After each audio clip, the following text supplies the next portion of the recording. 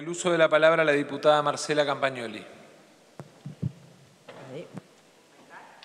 Ahí. Sí. Gracias, señor presidente. Hoy la, la sesión era presencial por la importancia que tiene el presupuesto para todos los argentinos. Solamente iban a estar exceptuados de venir los diputados que tuviesen riesgo por su salud o aquellos diputados que pudiesen fundamentar por escrito los inconvenientes que tenían para estar presentes hoy en la sesión. No debemos ser más de 150, 140 diputados hoy, decir, menos de la mitad de todo el cuerpo de este bloque. Es lamentable, yo veo caras saludables en las pantallas. La verdad no, no entiendo por qué no están hoy acá presentes. Cuando están presentes, desde que comenzó la pandemia, los colectiveros, las enfermeras, las cajeras del supermercado, los médicos en sus puestos de trabajo. Creo que es importante y hubiera sido muy bueno que todos ellos que están trabajando desde el principio de esta pandemia en sus lugares de trabajo, porque son trabajadores esenciales, nos hubieran visto a nosotros hoy acá haciendo el esfuerzo. Hay una diputada, la diputada Roxana Reyes, hace un día y medio que estuvo manejando para estar acá presente, y tantos otros diputados que, viven en el interior y que están aquí presentes. Hubiera sido muy bueno para el pueblo de la nación argentina ver que sus representantes están acá hoy poniéndole el cuerpo como le ponen ellos todos los días en sus puestos de trabajo, porque nosotros, aunque no lo parezcamos, también somos esenciales.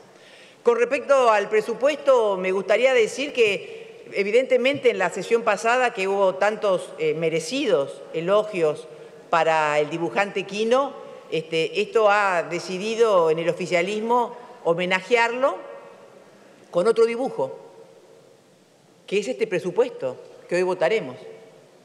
Un presupuesto mentiroso y de imposible cumplimiento. Me sumo a los argumentos del diputado Laspina, del diputado Pastori, para no repetirme, inclusive lo que ha dicho Contigiani, por los este, subsidios excesivos al transporte para AMBA en detrimento de las provincias, como lo dijo también recién Cantar, a lo que ha dicho Pablo Oliveto, a lo que ha dicho Javier Campos, a lo que ha dicho Romina Pla con respecto al presupuesto de educación. Pero hay un ausente con aviso en el presupuesto, que es la fórmula de movilidad jubilatoria, la fórmula para el cálculo. Con esa fórmula se calculan las jubilaciones, las pensiones, la asignación universal por hijo, entre otras. Estos gastos significan más del 70% del presupuesto, porque son el, el, gasto mayor en servicios sociales. Es decir, que sin tener esa fórmula para poder calcular las jubilaciones, las pensiones, la asignación universal por hijo y tantas otras, Insisto, este presupuesto es un dibujo, porque eso es el 70% o gran parte de ese 70% del gasto del presupuesto.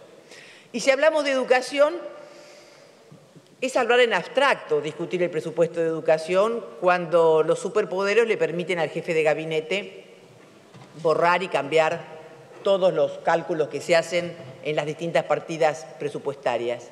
Lo que sí me gustaría mencionar hablando de educación son las decisiones políticas que tienen que ver con lo que se sacrifica en educación.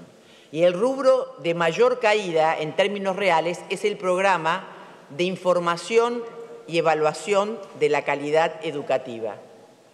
Justamente cuando urge empezar a evaluar resultados para medir, diagnosticar y mejorar los recursos, estrategias y capacidades de nuestros docentes y alumnos. Hoy el aumento masivo que tenemos de cantidad de docentes y de horas cátedras no se refleja en la mejora de los resultados de las pruebas. La relación en el promedio nacional es un cargo de docente cada 12 alumnos.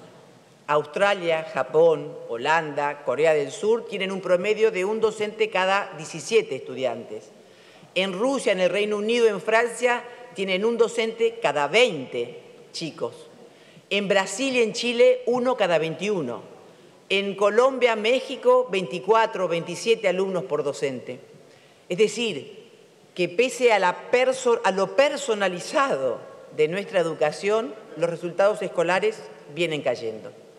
Por eso es necesario medir, por eso es necesario diagnosticar, por eso es necesario evaluar para poder corregir y poder mejorar estos, estos números. Uno de los grandes problemas educativos que tenemos lo, lo tenemos en el secundario, tanto por su alcance como por la tasa de terminalidad que hoy no alcanza el 60%. Hemos aumentado el presupuesto de educación, es cierto, pero el problema de la educación argentina no es lo que se gasta, sino cómo se gasta y qué resultado genera.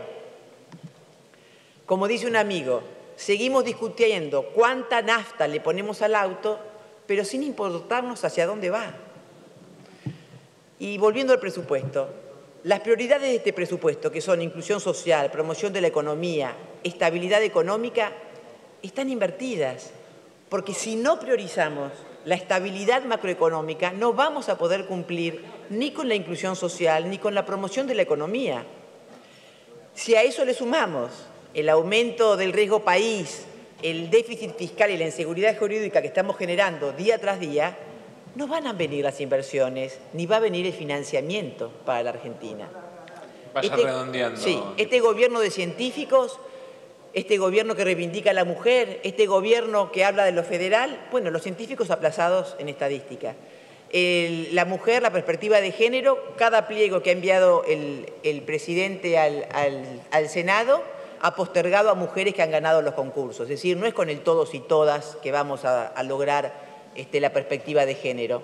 Eh, la inversión federal, a, como mencionábamos antes, lejos está de garantizar el federalismo. El gasto por habitante de la provincia de Buenos Aires es el 85% superior al de Córdoba y el 58% superior al de Santa Fe. Yo como bonaerense me alegro, pero soy representante del pueblo de la nación siendo diputada. No mintió el presidente, con esto termino, señor presidente, no mintió el presidente cuando dijo que no tenía un plan económico. Este presupuesto lo demuestra.